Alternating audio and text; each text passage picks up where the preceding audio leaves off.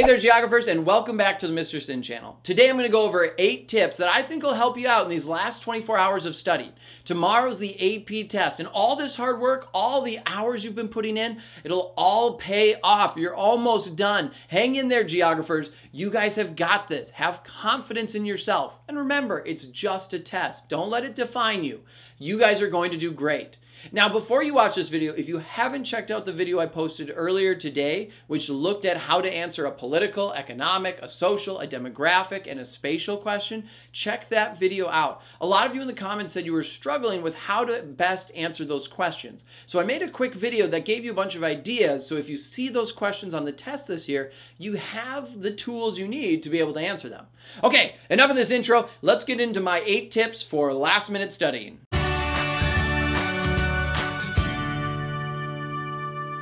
First thing I'd recommend doing is relax. You guys can do this. You've been studying all year. You've been putting in the work. The fact you're watching these YouTube videos shows you care about your education and you're going to do well on this test. At the end of the day, it's just a test. Yes, it's online and it's at home and it's just two FRQs and that can be really stressful.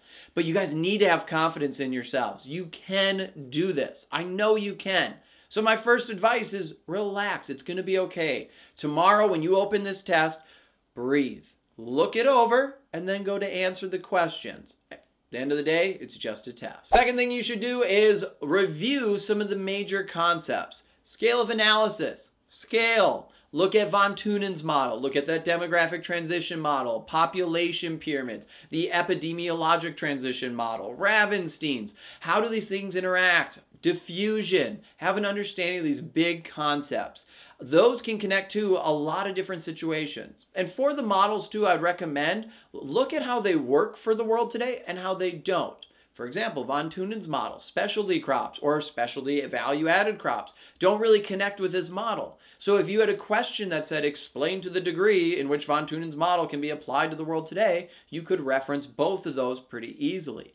It's all right. You still got time, but look those over and definitely focus on some more of the application of those models, especially since it's open note this year. They're probably going to be asking you to make more connections to the real world. Number three is to look at maps and data, and this is a big one. This year, the test is just stimulus questions. So what I want you to do is go to Google and try to find some different maps. Figure out the scale and the scale of analysis of the map. Then what I want you to do as a great practice exercise is just think to yourself, what is this map showing me? What statements could I come up with that would be true about the map and what statements that I could come up with that would be false? This is a great way to practice breaking down information. This way when you get to the test tomorrow, you're comfortable at reading maps that you may have never seen. This will save you a lot of time on the test. And for data, I would recommend looking at some population data. Look at a population pyramid. Look at census information. Make sure you know the difference between qualitative and quantitative and be able to process and answer questions on it. If you see a big base in a population pyramid, what inferences could you make? Number four is if you're going to use notes tomorrow, make sure you have them organized in advance. So if you're doing them online, great idea that I saw in the comments, and really I should have said in the video, but if you have online ones, you can use Control F during it and type in whatever you want and it'll find it right in your document. That's a great way to quick find information.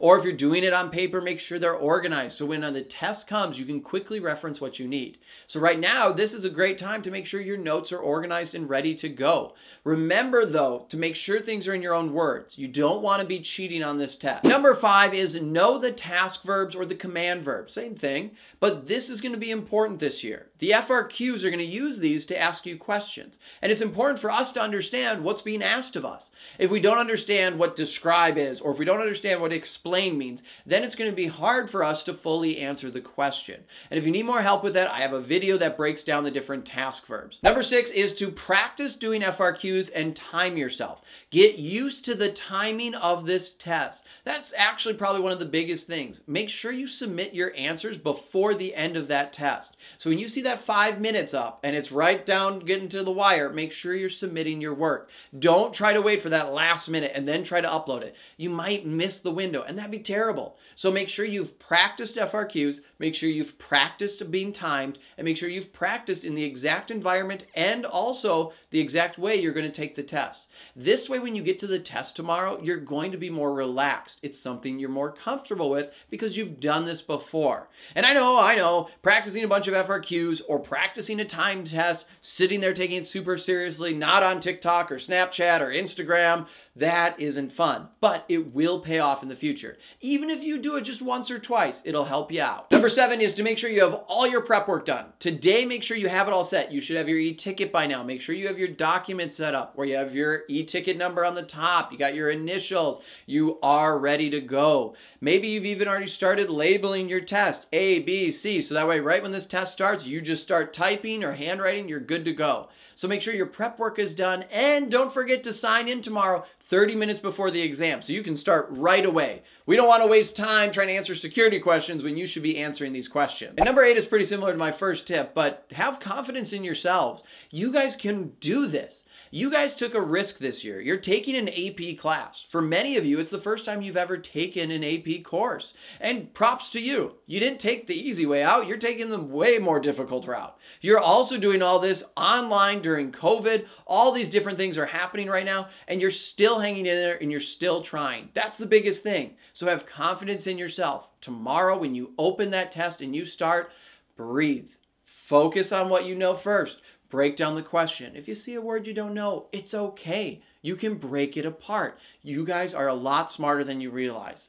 Have confidence in yourselves and you guys will do great. And those are my eight tips. You can take them or leave them. Really, it's up to you. Hopefully they helped you out though. And again, too, if you haven't checked out some of the other videos on the channel, check them out. Hopefully they'll be able to help you in your studying. At the end of the day, though, remember, it is just a test, and you guys can do this. Okay, that's all I have for today. I'm Mr. Sinn. Thank you so much for watching. Thank you, by the way, too, for all of you guys who have been subscribing. This is awesome. It is so cool to see this community grow. One of the things that's actually been the coolest for me is to see how you guys are actually helping each other in the comment section, answering each other's questions. I've been really busy the past couple days, and I feel bad I haven't been able to get to everyone's comments. I've been reading them, but I haven't been able to answer them. So it's awesome to see you guys actually answering and helping each other out. What an awesome community we have. Okay, I'm Mr. Sinn, and really, you know the drill by now. Make sure you subscribe, like the video, share it, help out your other friends who might be taking this course. And of course, until next time, I'll see you online.